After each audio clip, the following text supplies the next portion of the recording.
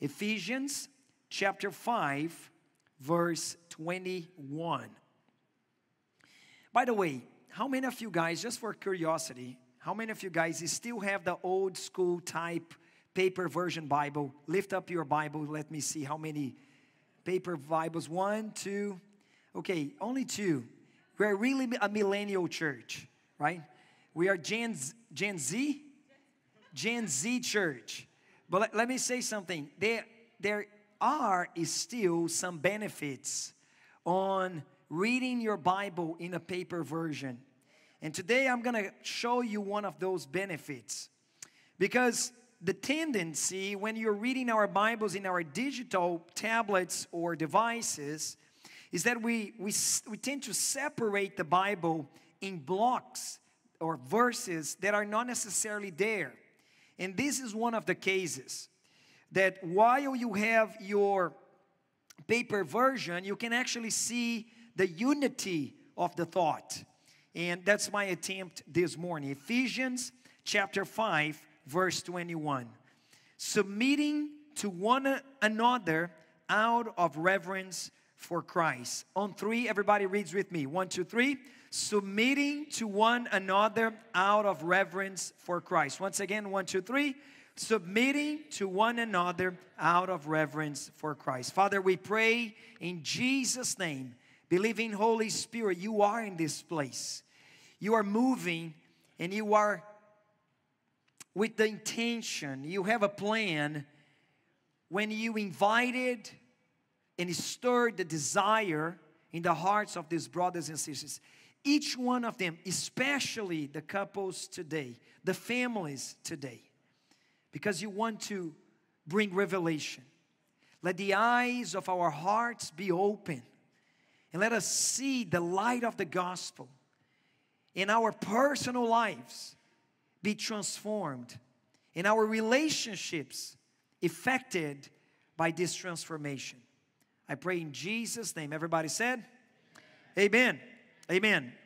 So, we have learned so much here in Ephesians chapter 5 about being spirit filled. And during the week, I was meditating still on this passage in Ephesians chapter 5. The admonition of Paul is that we live a spirit filled life. And I really like the fact that the word spirit in the original is the same word for breath or air movement. I like to say that when a person is spirit filled, that person will not become heavy loaded, complicated, annoying person. On the contrary, that person that is spirit filled is an easygoing, pleasing person to be around. It's just like light weighted. It's fun to be around a person that is, is spirit filled. Say amen, everybody. So don't come with saying, I am a spirit filled, so thus says the Lord, the church is judge. You are seen, you, you are in sin, and start to condemn the church because the Holy Spirit is the comforter for the church. He is the breath of life, not the pointing finger of judgment. Don't come with the label of his spirit filled and start to damn on people and, and really bring people down. Spirit filled people are light-weighted. They are filled with air. Everybody take a deep breath. You're already being filled with the Holy Spirit. Hallelujah. Seriously, that's what the Bible says. But also, I can't just move forward uh, to not, re- not reminding you also the comparison of being wine filled. So, Paul compares here that a person that is spirit filled he is inebriated, he is drunk. He has that state of joy that not necessarily has a reasonable cause for. You're just happy. You're just easy smiley.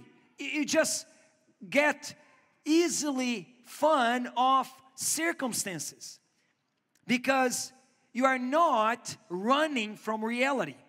Look, the philosopher uh, behind the socialism movement, Karl Marx, once said that religion is the opium of the people, is the drug of the masses. He was wrong because opioids are still the opium of the masses. I made a brief research. Um, FBI said that in the 1960s, more than 80% of opioid abusers got hooked on heroin first. But in the 2000s, 75 of opioid abusers started with prescriptions opioids. In other words, we simply changed the buying place. We used to buy drugs on the corners of the streets in the dark, but now you can find in a standard pill container. People are still taking drugs to run from reality. They still getting drunk to run from the harsh reality. And let's be honest, I can understand why the people in the world wants to fantasize. Because life is hard for everybody. But for those that doesn't have the hope in Jesus Christ, is even harder. To not say even impossible. So I really understand why people want to get drunk, get high, and turn off and go to this uh, fake reality. However, does we do, do we do the same when we want to be spirit filled? When I invite you to be drunk in the Spirit, am I calling you to run from reality, as Karl Marx once said? Absolutely not. When we are Spirit filled, we are actually running toward our reality. We're actually aiming our final identity, what we really are. Second Corinthians 3 18 says, And we all with unveiled face beholding, gazing, spending time, investing my time to behold the glory of the Lord. We are transformed into the same image. We get His character, His identity from one degree of glory to another. For this comes from the Lord, who is the Spirit. So when you and I are filled with the Spirit, we are being identified with the image of Christ. Or I can even quote another passage in First John chapter 4. The apostle said that because we are aware of the love of God, when we spend time in His love, being reminded of how He loved us, we head toward our likeness with Christ. First John 4 17, by this is love perfected with us so that we may have confidence for the day of judgment. Because as He is, so also we in this world. We are in this world. So as I behold the glory, and as I am reminded of His love for me, I'm not running from reality, I'm running toward reality. I'm actually getting into this identification. So I can't insist more that you should never miss your life group in this next season. You should really put in your weekly schedule. You're not gonna put anything else in your service morning. You're gonna really make a priority. Not because you want to run from reality, not just, just because you want to turn off and fantasize. No, no, no. On the contrary, you are actually heading, you are being transformed, you are being identified with what God called you to be. So don't miss the opportunity to speak to one another, to sing and make melody for the Lord with a grateful heart. So when we schedule the secret room, these worship moments together, I'm just giving you a pretext to get a little drunk every Friday night. And I know people craves for Fridays after work time. We too now. We do it because we're going to get together to worship Jesus. And I know on Wednesday when I meet my mega life group, I'm gonna get a little bit more drunk. And also on Sunday morning, when this worship team, come on, let's give it up for the worship team today once again. They really facilitate, they were really those that served us a good wine today. Amen. That's how it's supposed to be. Now, I want you to be reminded of this context of spirit filling uh, principles because when we read verse 21, our guys with your Bibles open there in Ephesians, you can notice, at least in my paper version, that the paragraph where verse 21 is written is the same context is speaking of being spirit filled, to be full of the spirit, which implies that once we decide to be servants, submitting to one another, we're also embracing the practice of being filled with the Spirit as much as speaking to one another, singing and worshiping Jesus together.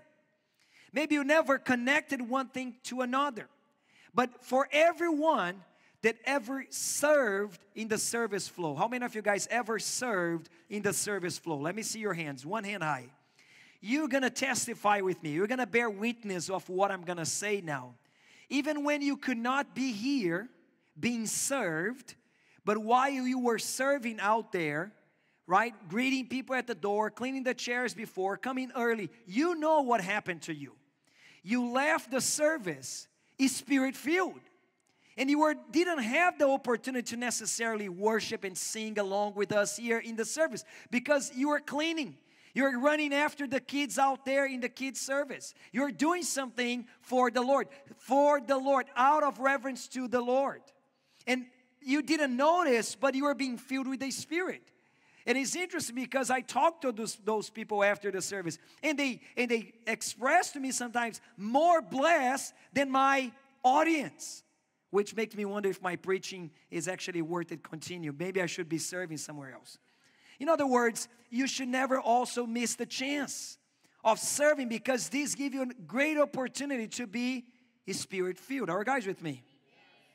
Now, that's my subject because the principle of spirit filled relationships will happen all the way in these uh, verses we're going to read from chapter 5, verse 22 until chapter 6, verse 9.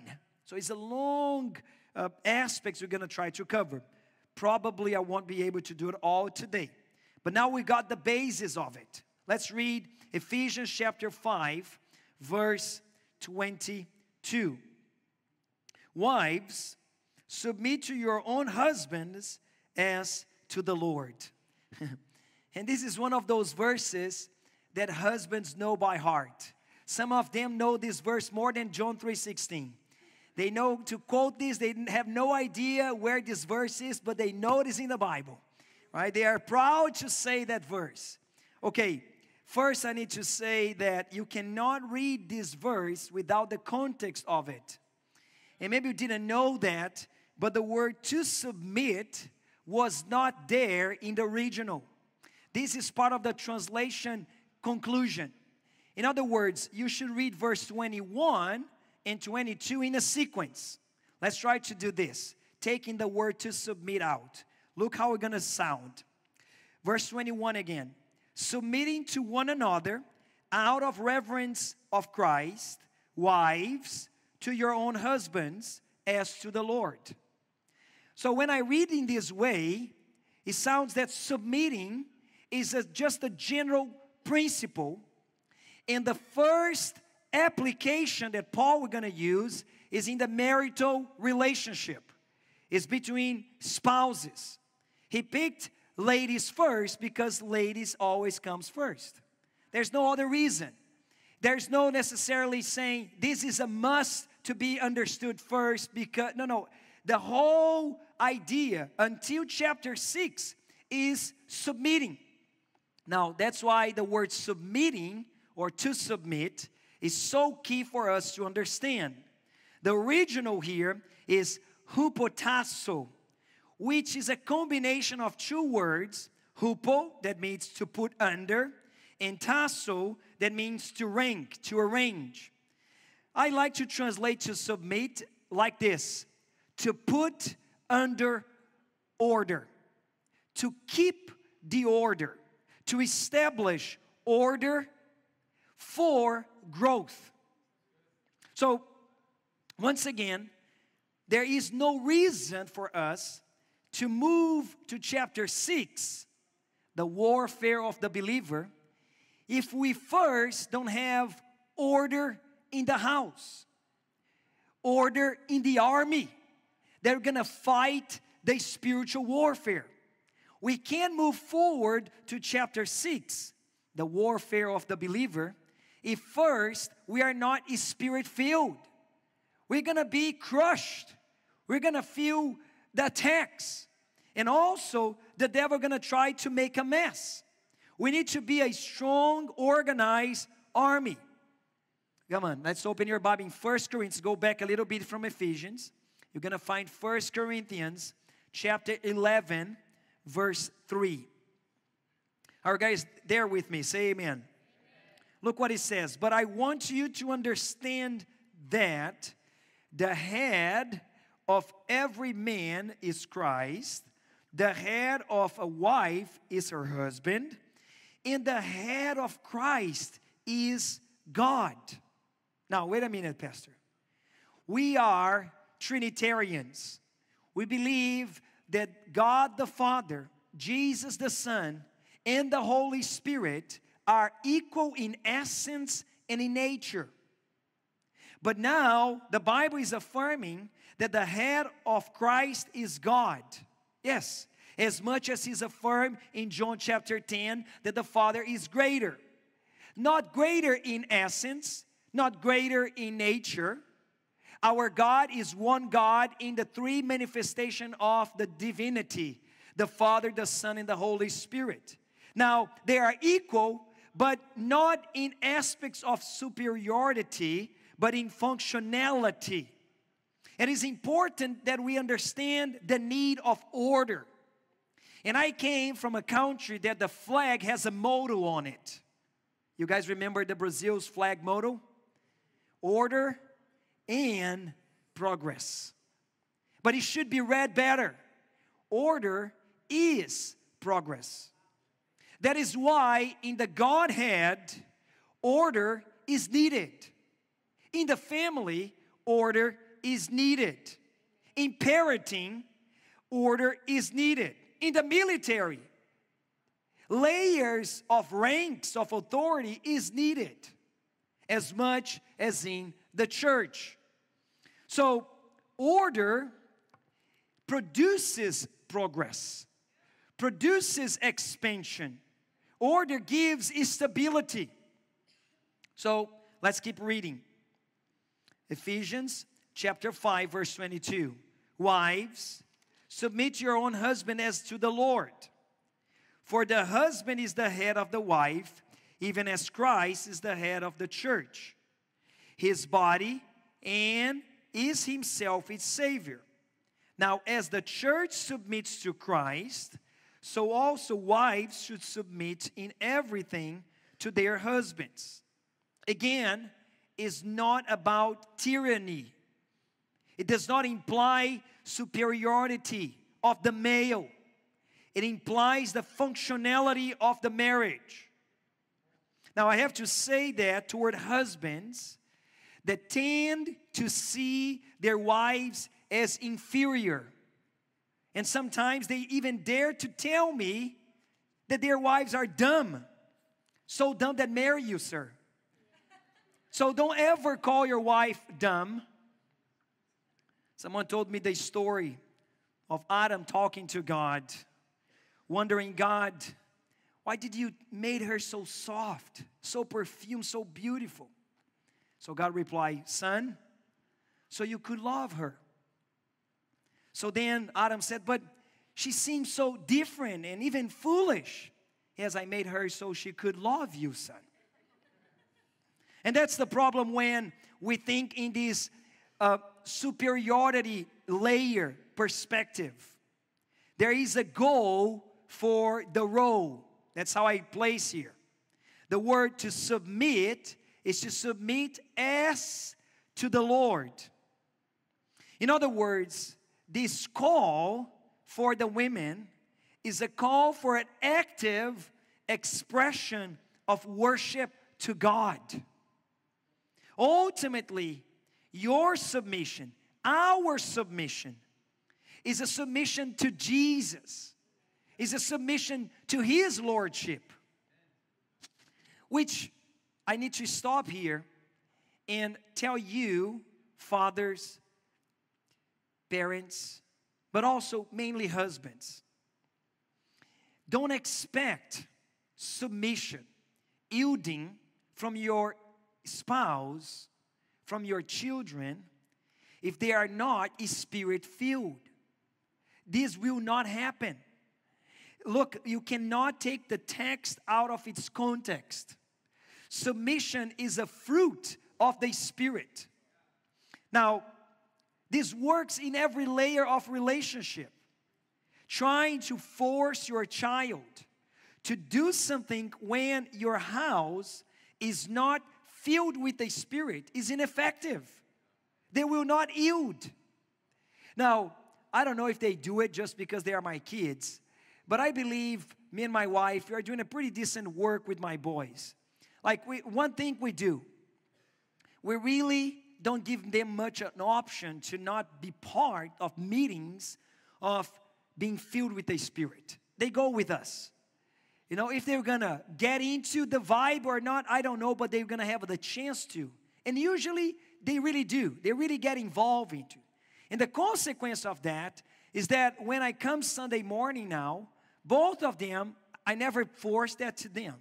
And they're not here, but I, they could witness what I'm saying. They come to my office, usually I'm studying, just make my final notes for my message. And both of them come to me and say, Dad, how can I help today? Is there anything I can do? And if you are ever leading one of the service flow, if you are one of the leaders, you'll probably notice them do it. I never asked them to do that.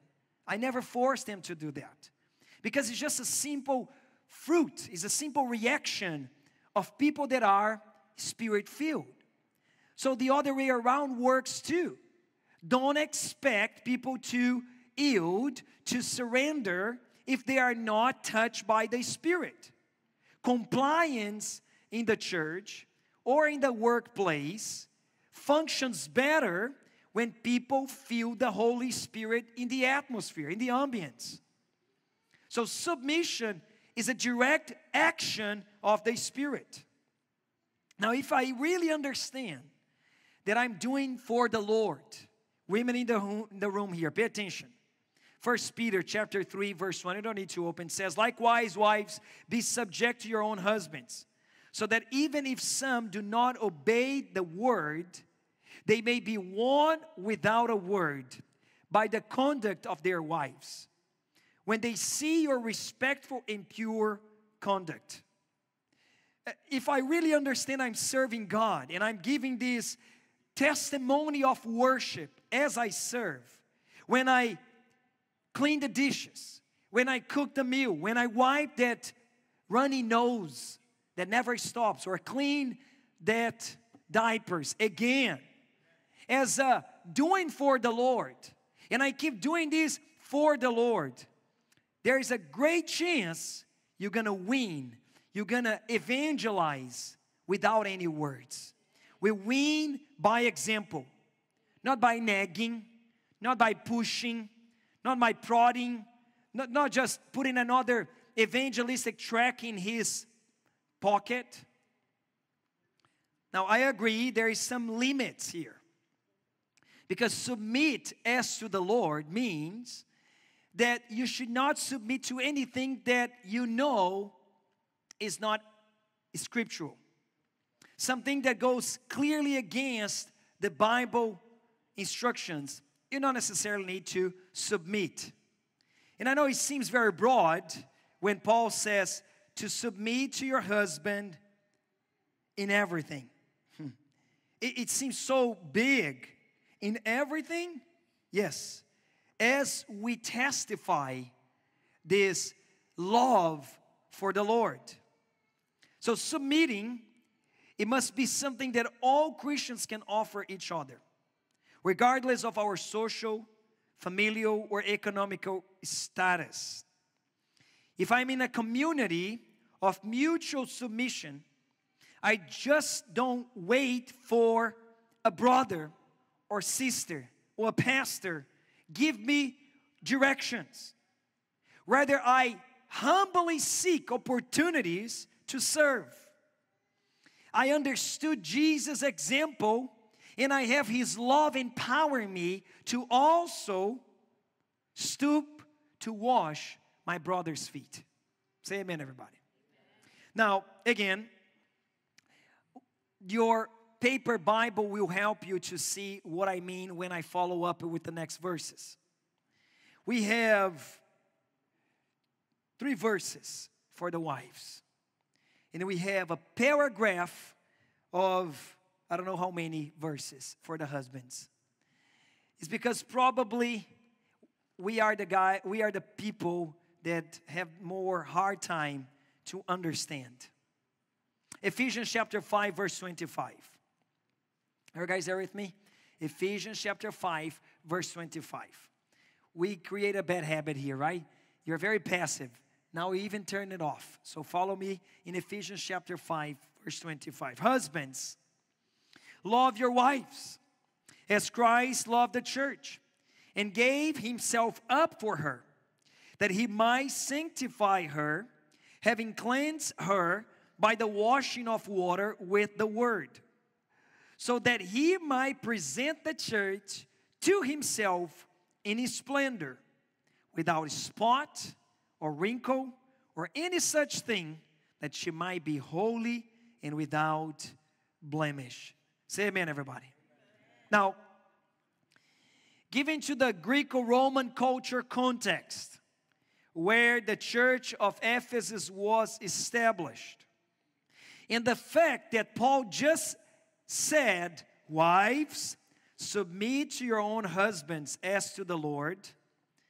We were expecting that Paul will start the next session saying, Husbands, exercise control over your wives.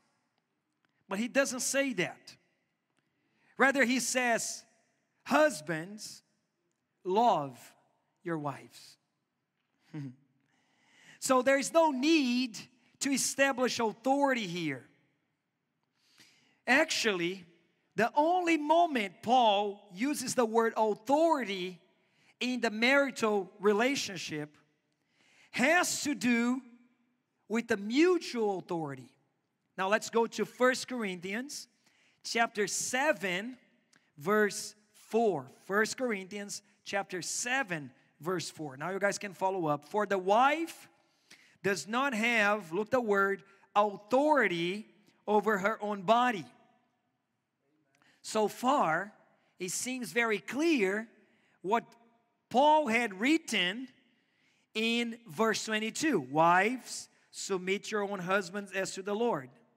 But for the surprise of the readers, and maybe for you 20,000 years later, we have to keep reading the text that says, do not have authority over her own body, but the husband does.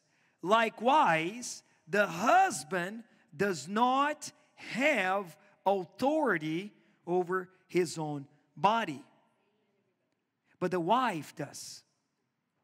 Only the women say amen. amen.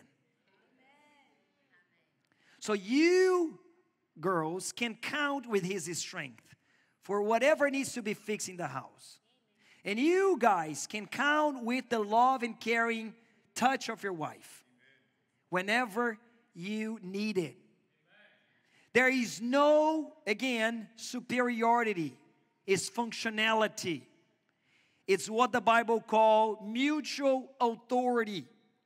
Now, the mutual authority sometimes gets stuck with decisions or preferences that needs to be made. That's why the roles were important because at the end, he needs to pay the bill. So somebody has to make the deciding vote. The driving direction. Now, as good leader, you don't want to impose your decision. So you don't use authority. You use leadership. What kind of leadership? Words. Only the men in the house say words. Words is the most effective tool for leadership. It's not force, it's not a strength, it's not brutality, it's not violence, only words. But what kind of words? Let's go back to Ephesians chapter 5 again, verse 26. That he might sanctify her, having cleansed her by the washing of water with the word. In other words, you're gonna use words that will promote the uniqueness of your wife. Sanctify her means she is set apart. Pay attention, guys. You don't talk to your wife as you talk to your buddy. You don't direct to your wife as you talk to a friend. She may be your best friend, but she's more than that. So you choose wisely your words because your words have the power to sanctify her and bring the sense of uniqueness that eventually you gain credit. You achieve credit for the decision that needs to be made. But also, it is words that refreshes. That's why I put it like this. I'm actually subtitled this moment, words that refreshes. What type of word is that? It can't be the law. It can't be the demanding high commandments. It has to be the gospel. Whenever we talk, we talk the message of grace to one another. We remind one another of the finished work on the cross.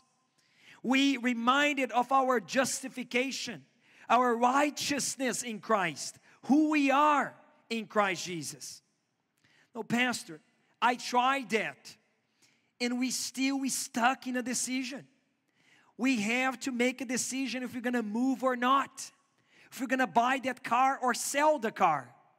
And we are not binging, we're not surrendering, none of us.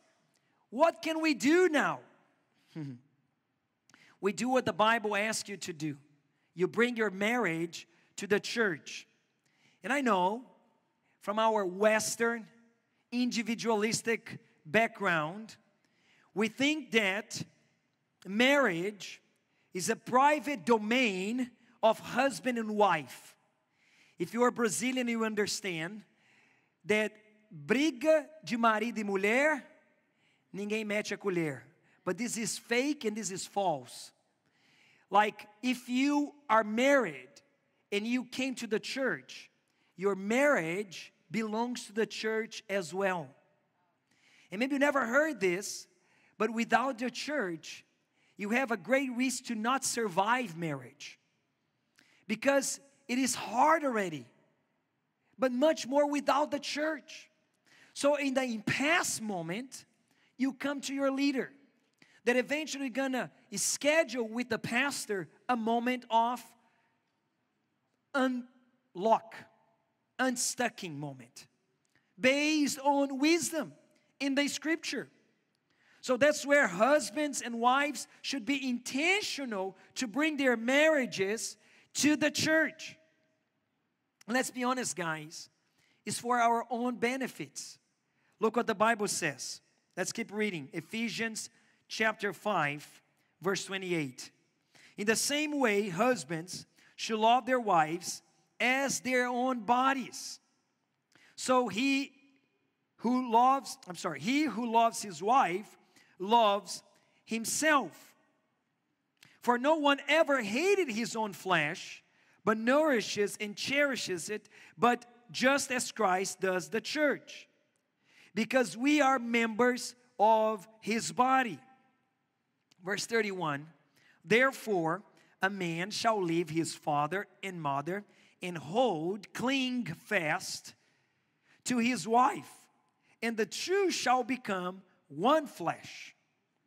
The mystery is profound. And I'm saying that it refers to Christ and the church. Verse 33. However, let each one of you love his wife as himself, and let the wife see that she respects her husbands. So, let us not be cheap with our loving words, man. Remember when you conquer her? Probably wasn't because of your stylish hair. You had a cool hair, but it wasn't enough to conquer her.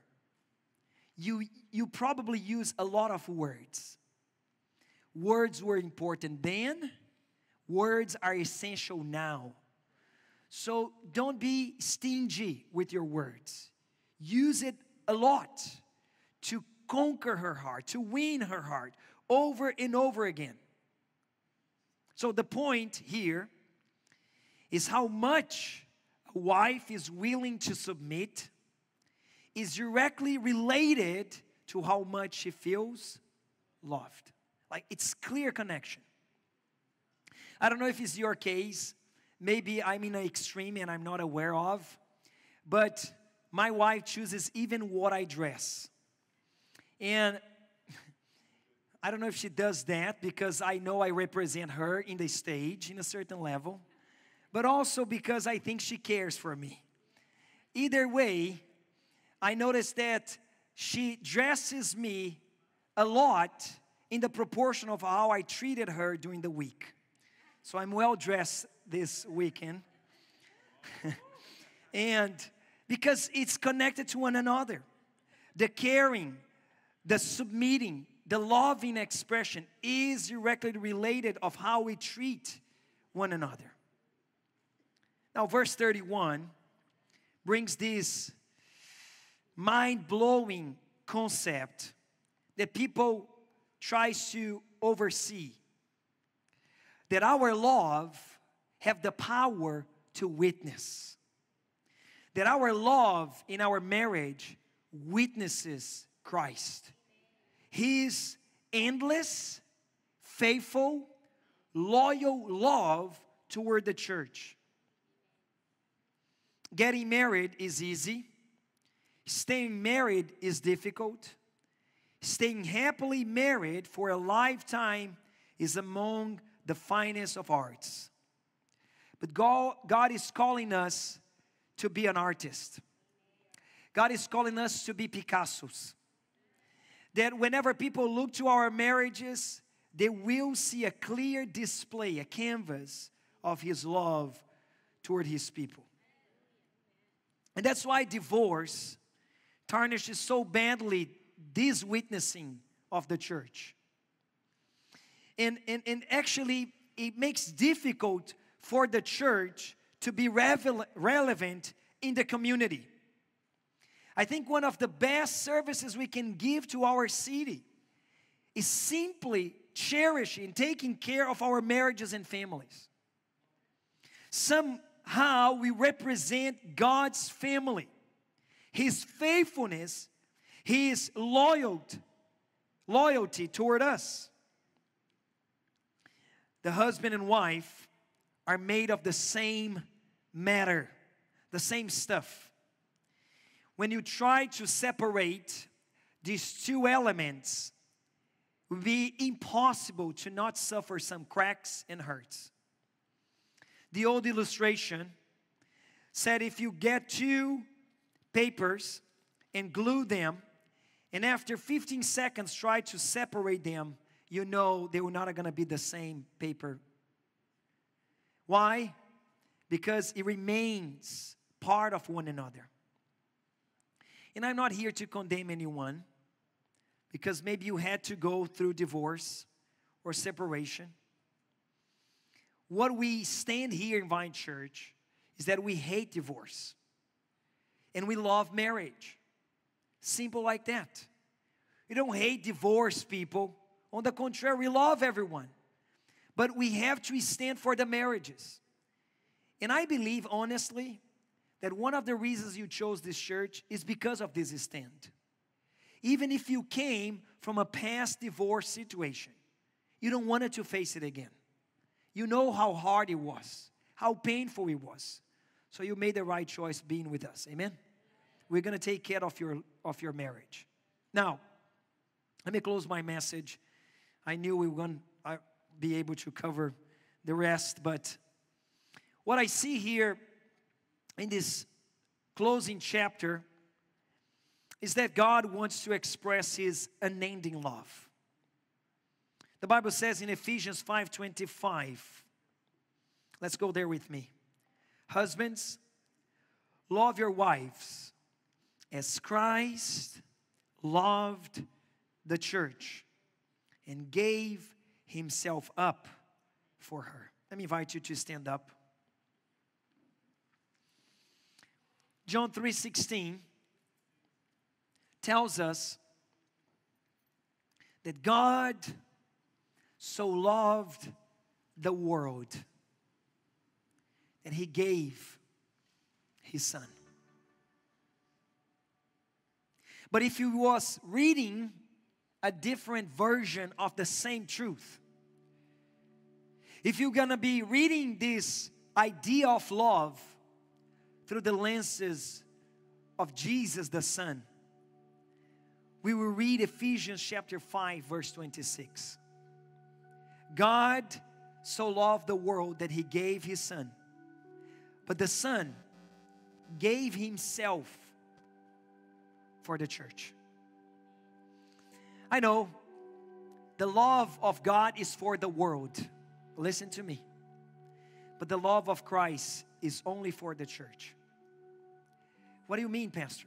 It's because there is this layer of love that is only perceivable for those that belongs to the church. And I'm not talking about the institution, the organization. We are better than that. We are an organism. We're a family. We are the bride. We are in a loving relationship. We are not in a legalistic religion. Come on, somebody. And that's why whoever is here that is wondering about the love of God, you can look to Christ and be reminded that He loved the church to the point of giving Himself up for her. This is one of the easy expressions of love a husband can say to his wife I'm willing to die for you. But Jesus not only died for his church, he also is empowering His church. He's giving life for her. So we should never speak bad about the church because this is for what Christ died for. He loves the messy, the flawed, the broken church. And we are in the business of preparing this church for Him on that day.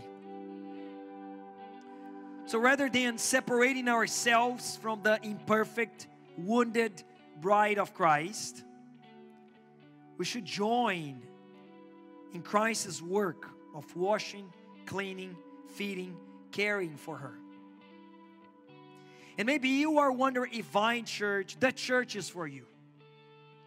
I want to make you an invitation for those that wants to commit their marriage to the church their relationships to the church, their personal lives to the church. Sounds weird, maybe, but what I'm talking to you is that when you give your life to Christ, it is implied that you should give your life to the church as well. And we're not here in the business of manipulation. We have enough problems already. We're here in to facilitate to create moments like this so you can pray with your wife. And through the prayer with your wife, you can say words, you can utter loving words that goes beyond a compliment. That goes far above just a present you can buy her, even though it's still necessary. Come on, ladies. Buy her a dinner. Come on, ladies, it's still necessary. But when you pray together, when you bring your marriage, your family under this church love that Christ gave Himself for, you receive, you perceive this love in your family, in your relationships. Let this, let's do this together, everybody. Grab somebody, preferable your family, your wife, your spouse, your husband, maybe your children. Just find someone right now that you can pray with. Let's give our lives to Christ as we give ourselves back to the body, to the church. Father, I want to pray over every family in this place. Marriages that needs the fire back, that needs the rekindle of passion, respect, love. I pray, Holy Spirit, for parents in this place that are struggling, God, to lead, influence their adults, child. They try convincing, they try evangelizing, but it's not working. Holy Spirit, I pray for a new, fresh anointing of your Spirit, giving these parents right words that will unlock the relationship in a new level, in a new dimension, God. I pray, Holy Spirit, for kids that are struggling inside of their homes with resentment, bitterness. It's hard to forgive. Father, release upon our church. Holy Spirit, come upon us with this fresh anointing of forgiveness, of patience. Let the wives learn how to submit. Let the husbands learn how to love. Let the kids practice obedience. Let us to each other submit out of reverence of Christ.